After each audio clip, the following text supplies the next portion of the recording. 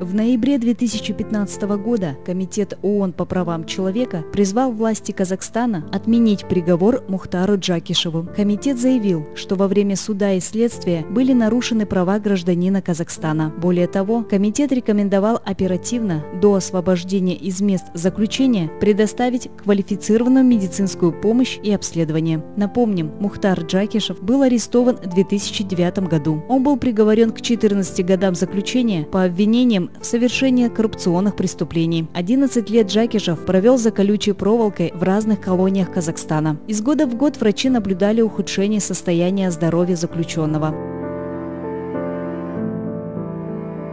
Как отреагировало государство на призыв Комитета ООН по правам человека? Меня вывезли в Копчегайскую городскую больницу, провели там осмотр быстро-быстро в течение двух часов.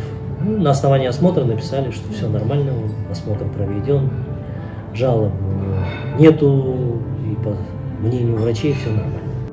Государство, лишая свободы человека, обязано сохранить его жизнь и здоровье.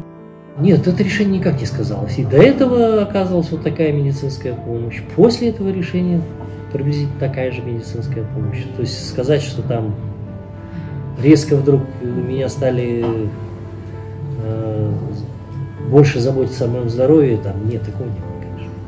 То есть я вообще, честно говоря, вот это решение, оно не сильно сказалось. Ни на внутреннем распорядке, ни на чем. Было просто ожидание, которое, в общем-то, э, окончилось ничем.